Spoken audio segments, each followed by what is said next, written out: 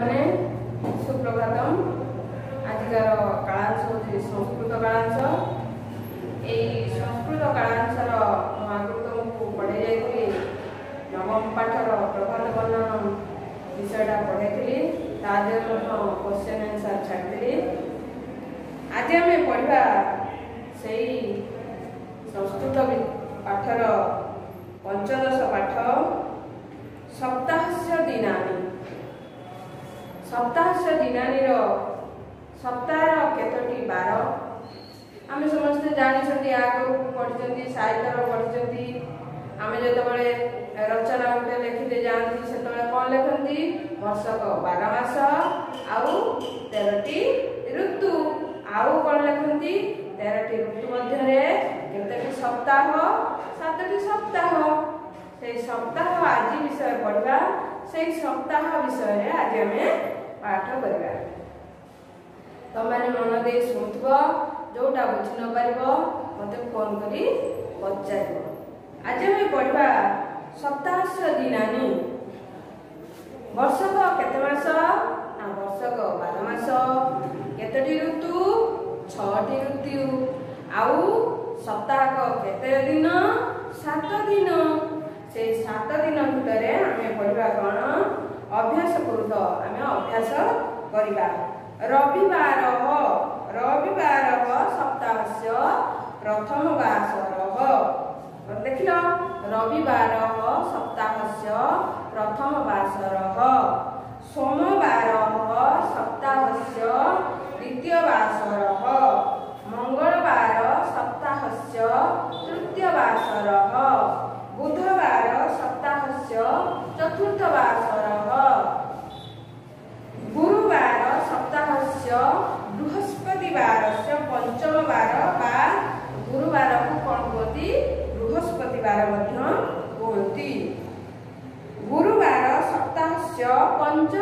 ବାସର ଶୁକ୍ରବାର ସପ୍ତାହସ୍ୟ ଷଷ୍ଠ ବାସର ଶନିବାସର ଶନିବାସର ସପ୍ତାହସ୍ୟ ସପ୍ତମ ବାସର ଇଏ ଥିଲା ତମର ବାରମାନଙ୍କର ସେଭଳି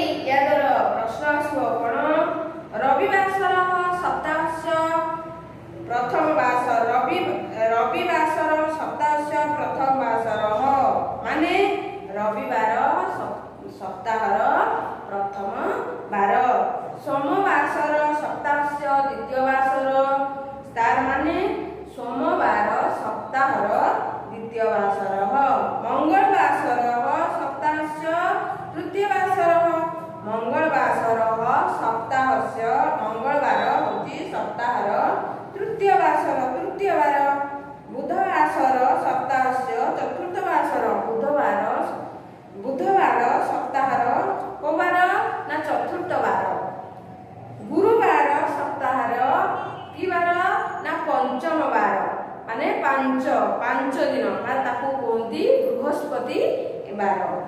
ଶୁକ୍ରବାସର ସପ୍ତାହସ୍ୟ ଷଷ୍ଠ ବାସର ଶୁକ୍ରବାର ସପ୍ତାହର ଷଷ୍ଠ ବାର ଶନିବାସର ସପ୍ତାହସ୍ୟ ସପ୍ତମ ବାସର ଶନିବାର ହେଉଛି ସପ୍ତାହର ଶେଷ ଦିନ କୁହନ୍ତି ଆମେ ଶନିବାରକୁ ଶେଷ ଦିନ ବା ସପ୍ତମ ଦିନ ବୋଲି କୁହନ୍ତି।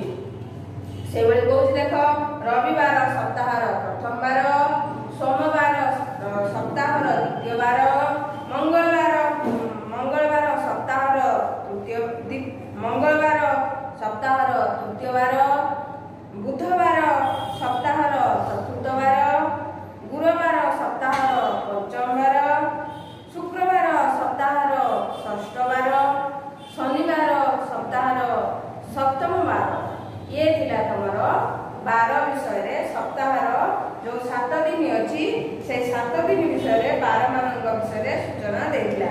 ୟା ଦେହରୁ ପ୍ରଶ୍ନ ଆସିବ